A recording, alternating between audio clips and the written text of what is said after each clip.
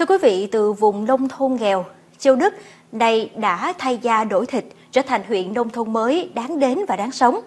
Có được kết quả đó là nhờ vào sự chung sức đồng lòng của cả hệ thống chính trị và sự đồng thuận của nhân dân. Trong đó không thể không kể đến vai trò và sự đóng góp của cán bộ hội viên phụ nữ huyện. Và một trong những điển hình tiêu biểu mà chúng tôi giới thiệu đến quý vị trong chương trình ngày mới hôm nay, nhân ngày thành lập Hội Liên hiệp Phụ nữ Việt Nam là bà Bùi Thị Sen, Chủ tịch Hội Liên hiệp Phụ nữ huyện Châu Đức. Đảm nhận vai trò Chủ tịch Hội Liên hiệp Phụ nữ huyện Châu Đức từ năm 2018, bà Bùi Thị Sen luôn tâm niệm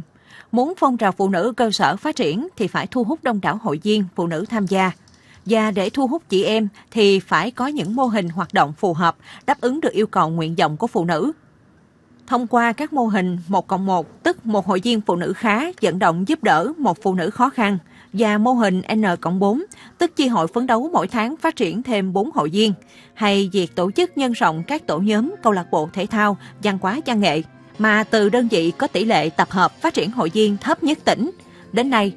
Hội Liên hiệp Phụ nữ huyện Châu Đức đã phát triển thêm gần 7.000 hội viên, nâng tổng số hội viên toàn huyện lên gần 42.000 người, đạt tỷ lệ tập hợp hội viên trên 83%.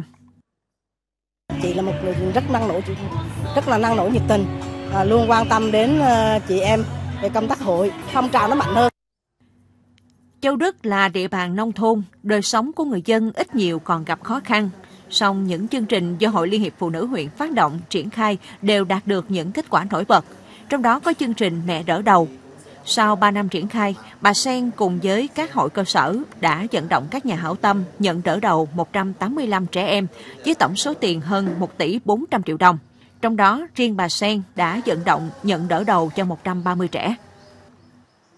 Và hội phụ nữ liên hiệp cũng có tấm lòng tình thương bác ái thương chiếu cố về mấy cháu mồ côi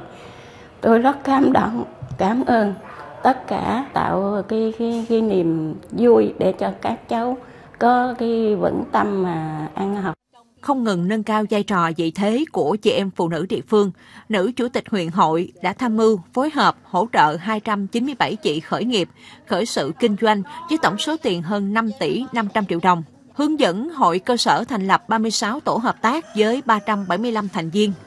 Nhiều chương trình hỗ trợ phụ nữ kết nối giao thương, giao lưu và mở rộng thị trường được hội tổ chức thường niên. Nhờ đó đến nay trên địa bàn huyện Châu Đức không còn hộ phụ nữ nghèo, tỷ lệ hộ khá giàu chiếm trên 60%. Thì chỉ à, làm ra một cái à, khởi nghiệp phụ nữ là nhằm à, mục đích là tạo cho các chị, các hội rồi các hợp tác để mà có mà kiểu liên kết với nhau để mà làm ra những cái sản phẩm à, uy tín mà có ờ, chất lượng là chị rất là phải nói là à, năng nổ quan tâm đến chị em phụ nữ đi sâu đi sát đến chị em phụ nữ từng à, mỗi từng à, ấp từng xã à, đi à, đến các à, à, hỗ trợ cho những chị em phụ nữ khó khăn để khởi nghiệp từ à, con giống xem à, nước mía để cho tạo cho chị em để có một cái cái à, à, vốn để mà làm ăn. Tham gia xây dựng nông thôn mới, Hội Liên hiệp Phụ nữ toàn huyện Châu Đức đã xây dựng 62 tuyến đường hoa với chiều dài hơn 46 km, 35 đoạn đường phụ nữ tự quản xanh sạch đẹp, 66 chi hội triển khai mô hình 50 3 sạch xây dựng nông thôn mới, 16 chi hội triển khai mô hình 5 có 3 sạch xây dựng nông thôn mới nâng cao, nông thôn mới kiểu mẫu dưới sự lãnh đạo của bà Sen, liên tục 3 năm liền 2021, 2022, 2023, Hội Liên hiệp Phụ nữ huyện Châu Đức dẫn đầu phong trào và hoạt động hội của tỉnh. Bản thân bà Sen được Trung ương Hội Liên hiệp Phụ nữ Việt Nam, Ủy ban Nhân dân tỉnh tặng nhiều bằng khen. Mới đây, bà vinh dự là một trong 102 chủ tịch hội phụ nữ cấp huyện tiêu biểu toàn quốc được Trung ương hội biểu dương vì thành tích đặc biệt xuất sắc, có nhiều cống hiến, đóng góp cho phong trào phụ nữ và công tác hội.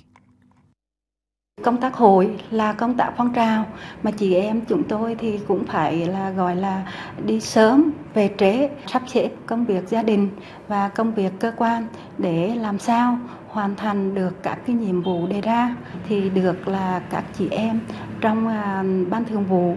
ban chấp hành luôn đồng tình, ủng hộ và qua đó thì chúng tôi triển khai đến hội cơ sở chi tổ hội luôn là những à, chị em sẽ đồng hành với hội những nơi chị em phụ nữ khó khăn thì nơi đó sẽ có chị em vào và để nắm bắt cái nhu cầu của hội viên phụ nữ trên địa bàn và qua đó thì chị em sẽ vận động và chăm lo.